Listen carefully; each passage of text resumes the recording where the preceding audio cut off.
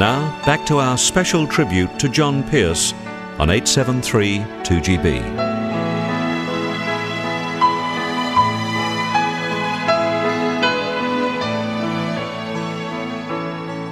It had always been John's burning ambition to work for what he considered to be Australia's greatest radio station.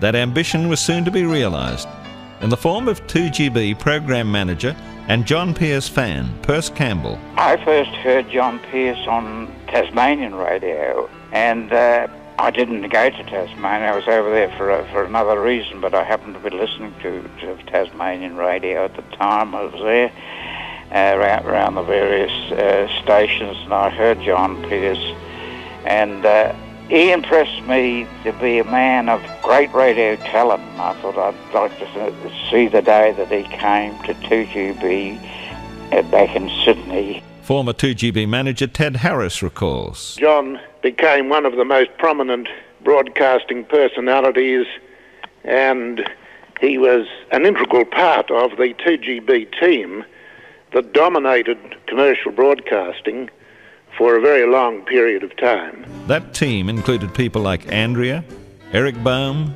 Gordon Chater, Gwen Plumb, John Dease, Terry Dear, Alan Toohey, Bob Dyer, and the great Jack Davey. What a thing for the baby. washing machine. Oh, look, I've wanted one for ages. Do I get the present? You talking about the baby or the washing machine?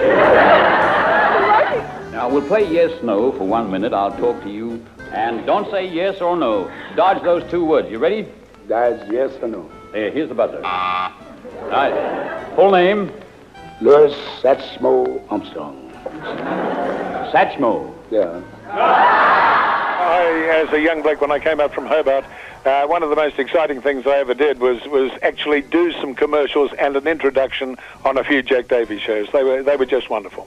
He was a man who was vastly admired. I don't know how many friends he had. He did his own audience warm-ups, and they were the best audience warm-ups I've just. They must have been the best in the world. He was actually known to do four shows in a day. He would do two in the lunch hour and two in the evening sometimes. Gwen Plumb recalls how a young John Pearce became an entrepreneur and record producer while involved in her program Pussy and Charlie, which also featured the irreverent Gordon Chater. John was sitting in the um, in the room alongside the uh, the studio with a pen and paper because we had lived everything and we went for an hour.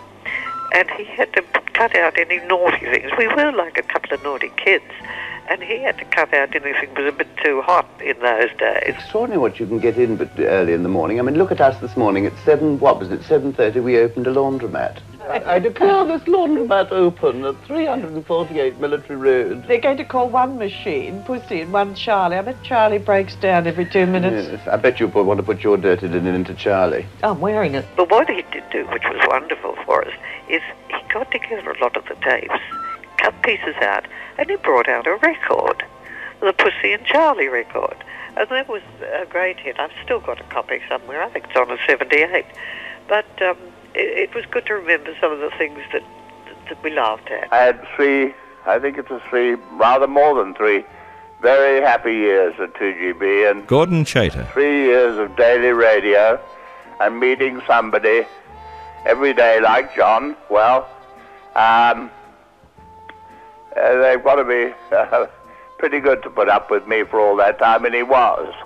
He had a wonderful voice. He had a good command of what he was doing. He was a producer for Gwenny and I, Pussy and Charlie, as we were called, and uh, we were sometimes uncontrollable, and he would be very calm when we got uh, hysterical, which we often did. I mean, we laughed so much and uh, we laughed at uh, everything and even probably embarrassed some of our guests or anything, but John never lost his temper with me, and I, he's one of the few people in my life who never did. His old mate Brian Chaseling confirms John's enterprising nature and endearing personality. One of the first broadcasts that John did when he came up from Tasmania was to join me in broadcasting the GPS regatta.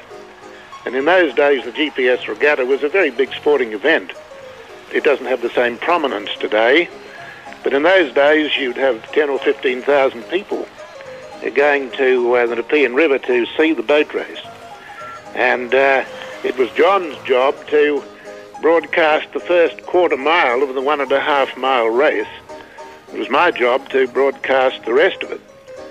Well, uh, I couldn't see the crews until they reached about the mile point, so John and I conceived the idea that we'd have eight coloured pieces of cardboard on which the various schools' colours would be represented, and John Pearce would hold up the particular piece of cardboard uh, representing the colours of the school that was in front, and then the one that was second, and the one that was third, and that's how I would broadcast the GPS regatta for most of the race.